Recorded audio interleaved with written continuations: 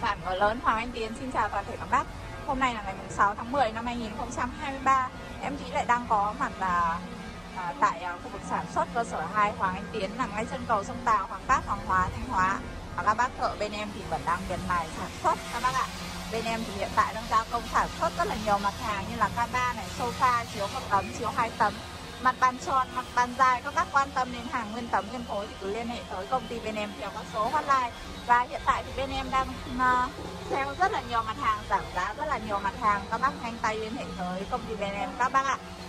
Và ngày hôm nay thì em đi giới thiệu đến toàn thể các bác là một tấm chiếu gương có kích thước chiều dài là 7m, chiều rộng là 2m3 và có độ dày là 20cm tấm chiếu gương đỏ chất gỗ đỏ ao. Tấm này thì bên em chỉ vừa mới qua một đường bào và quét một lớp lót rất là mỏng để bảo quản gỗ thôi các bác ạ. Tấm này thì được bên em à, dọc vuông rồi.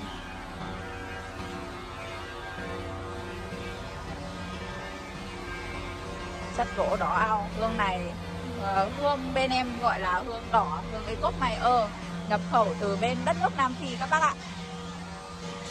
Vân chùm rất là à, vân chùm kín mặt luôn mặc dù là chỉ mới qua một đường vào mà vân chun này, chất gỗ, các bác đã thấy rất là đẹp rồi các bác ạ.